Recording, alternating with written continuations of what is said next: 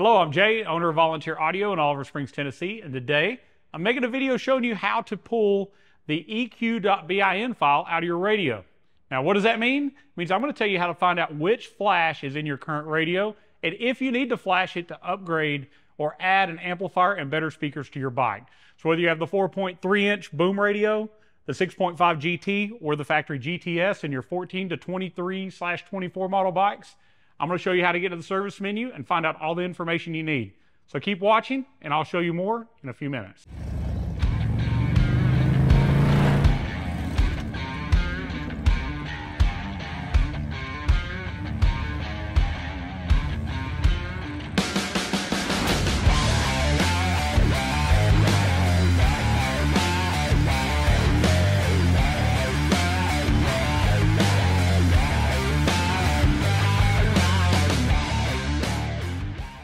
All right, so I've spent many, many hours testing Harley radios, doing all the techno research flashes, and I've put together a database of all the EQ.bin files in the factory radio, and I have made sure that I know the voltage that comes out of the radio, what happens to the bass boost, if the rear speakers work, all the things that we need to know to know if the flash we're using is the right flash for our audio upgrade. Now these are going to be available in a much easier to read format, not my chicken scratch that I've wrote down here at volunteeraudio.com. But I'm going to show you how to pull that number out of your radio so you can go there and find out which flash you currently have. We're going to do another video after this. This is a four-part video series. This is video number two. When we do video number three, I'm going to go in and show you what every one of these do. So you'll be able to know by your BIN number which one you currently have. You can go to that section of that video and I'll be able to tell you what that output of your radio looks like so you know if you need to do a different flash to upgrade your audio system. All right, so we're with our GTS radio here. This is a 2024 model, ultra limited. It does still have the GTS radio because this, the ultra limited didn't change to the new body style yet. I'm gonna show you how to get into the backside of the menu here. First, we're gonna turn our ignition on. Now we're going to wait for our radio to turn on and we're going to wait for it to come up to the accept screen. This radio is a little slow at turn on, but let's wait for it to come on here. All right, so it's powering up. As soon as we get to the accept screen, I want you to hold the power slash mute button down. It's popped up. We're going to hold it. Now just continue to hold it until it brings up a service menu in the back side of the radio.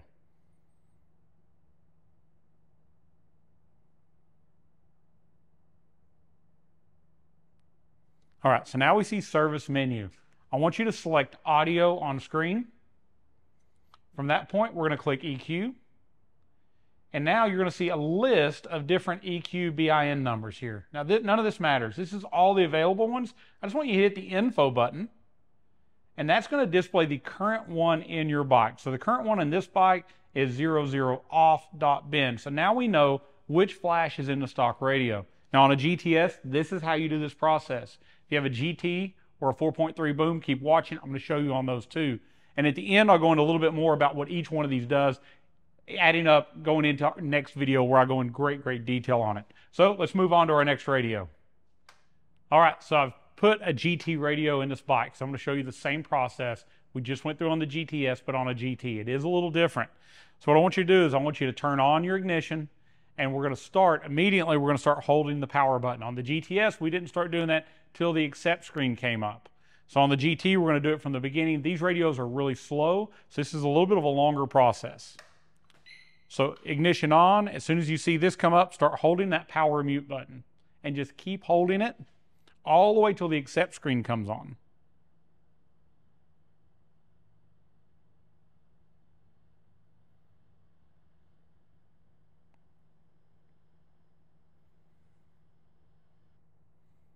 All right, so now the accept screen is up. I can let off on the power button. I can hit accept.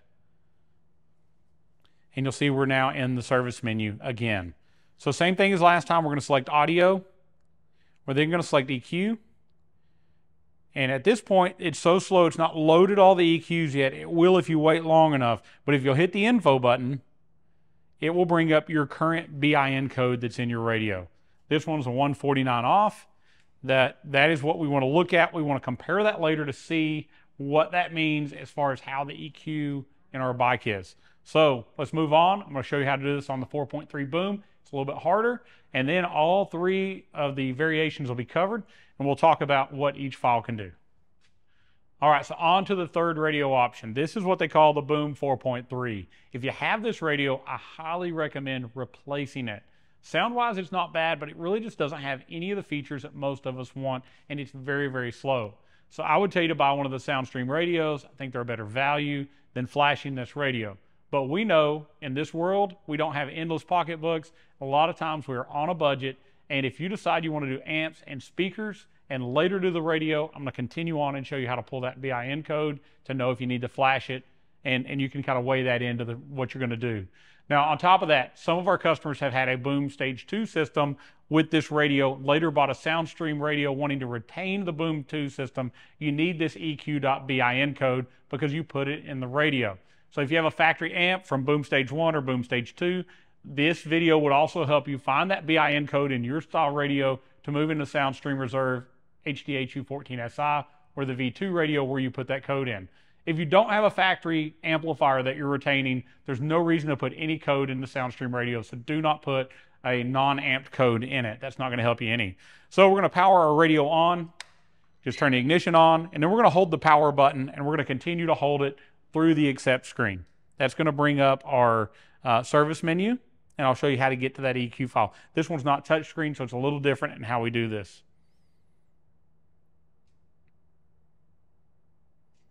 So just keep holding it.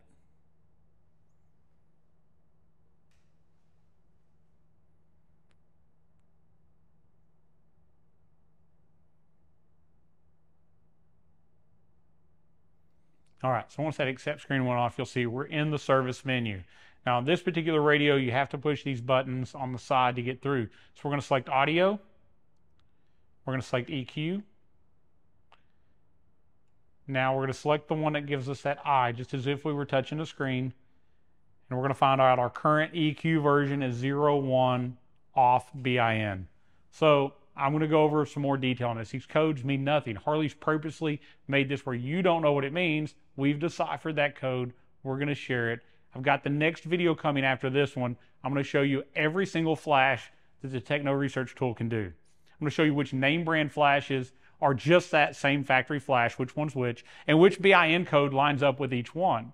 I'm also going to share all the BIN codes that if you have in your radio, there's no need to flash the radio if you have those codes, if you're putting in one of the volunteer audio aftermarket amp systems. And we'll go over that in more detail in the next video, so definitely watch it.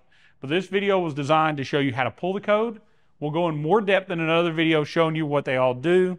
But I'll tell you, I've got all those BIN codes I've got them all going in a spreadsheet and it'll be available at volunteeraudio.com. Just go to our install help section uh, and there you'll be able to pull up and see each bin code and what it means on your system. So trying to make this easy, trying to make it useful and helpful to you uh, and share some information that's always a secret at the dealership. So let's move on. I'll show you our next video. Uh, definitely watch the series. There's four parts to it. This is only part number two, so watch the next video. Thank you for watching. Definitely subscribe to Volunteer Audio.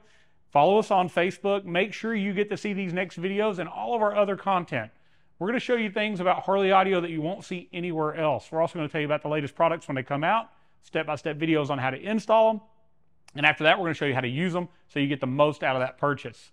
Uh, definitely comment below if you have any questions. We're very, very quick to reply to those comments. And if there's something else you want to see, shoot me an idea. Maybe we'll make a video on that too. Like this video, it's free to you. It helps us and it helps other people see this video. Could save them a lot of money on flashing their radio in the future. If you have questions about putting a system in your bike, maybe I've said too much, I've confused you, that wasn't my intent, but if I have, you can always give us a call. We've got live people here in the U.S. at Volunteer Audio ready to speak to you. They're experts in their field. We've got sales and tech support at 1-844-30 Audio. We want to hear about your bike, your budget, your build, and we'll help you do the right package to make the right decision the first time so you don't waste any money. Give us a call. We'd love to talk to you and help you out. Thank you so much for watching. You can check out all of our packages that are available at volunteeraudio.com. It's also where you can get a techno research tool that you can either buy or rent to flash your own radio.